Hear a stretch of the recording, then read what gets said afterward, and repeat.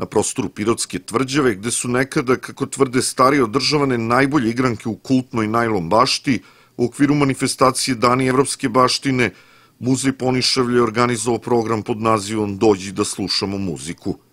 Oni stariji prisetili su se dobrih starih vremena, a mlađi, među njima i učenici osnovne škole Dušan Radović, imali su priliku da nauče nešto novo. Neki od njih prvi put su u ruke uzeli gramofonske ploče, videli stare filmske plakate sa Garijem Cooperom i Johnnyem Weissmillerom iz bioskopa Iskra i Mladost, videli kako su tada izgledali muzički aparati. Slobodan Petrović Čš predstavio je deo svoje bogate kolekcije starih radioaparata. Ima interesantnih aparata u smislu da su pridenjeni odmah posle otvaranja Radio Beograda i početaka emisije na našim prostorima, znači počeli su da se kupuju radioaparati. Najstariji koji ja imam, a mislim da je jedan od najstarijih ovdje, ima potvrdu od Philipsove firme, to je radioaparat Philips iz 1928. godine.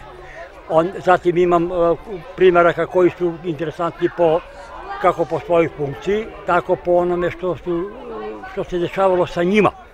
Tako imam aparat moga djede ovaj, koji je blokiran od strane bugarskih vlasti, tako podešen je na Sofiju, onda je kanapom i voskom sa pečatom bugarskim zapečaćen da se čuje samo Sofija.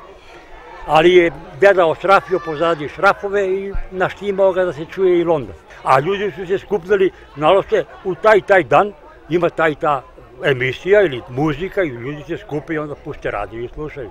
Ja se sjećam kako smo slušali prespavanja odlasti, morao da pusti da čujem šta će Grga Zlato pred da slaže i pušta Vašingtona da, da kako Grga laže. Poznati pirotski novinar i veliki diskofil Milan Paunović govorio je mladima o igrankama iz tog vremena i koliko su za njegovu generaciju bile značajne gramofonske ploče. To je bilo jedno vreme, e, i sami znate, tih 60-70 kada smo ludovali za pločama, kada je onaj koji imao ploče bio glavni, kada smo pravili žurke ili se okupljali na onaj poziv, ajde idemo da slušamo ploče. Nije bilo idemo u kafanu, nego idemo da slušamo ploče. Tako da je i to bio neki dobar način zabavljanja. U to vreme naravno da je bilo i teško doći do ovaj ploča koje su pogotovo ovde u Pirotu ovaj, stizala nekim posrednim putem. Prvo je bila jedna prodavnica tu preko puta nacionala, pa je onda Jugoton posle počeo da poboljšava ovaj, snabdevanje grada pločama, ali ja sam mnogo iz Beograda donosio, a nešto mi je i Kari Pešić slao i iz Beograda dok je bio u Partizanu, a i posle kasnije. Naravno i na putovanjima sa kulturno-ničkim društvom sam kupovao ploče.